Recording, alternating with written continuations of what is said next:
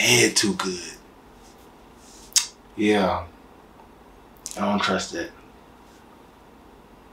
We get to dating and she get to talk me all one good time and I'm like, holy shit.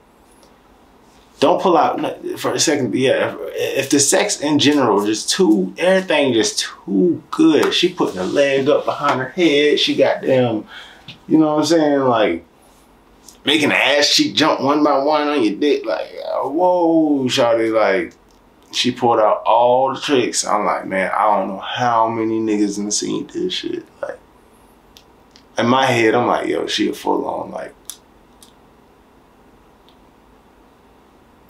porn star, like without the camera, which is cool.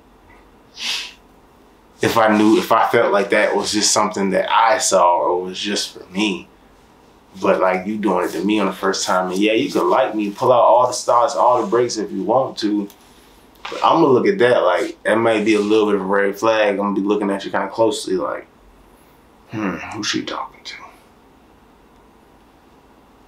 I, I, I, I wouldn't cross that out as a, oh, I can't date you thing, no. But I'm damn sure gonna be paying attention to, like, it's gonna be like a signal in my head, like, now I'm looking out for other red flags, you know what I'm saying? But that was just one I want to throw in there.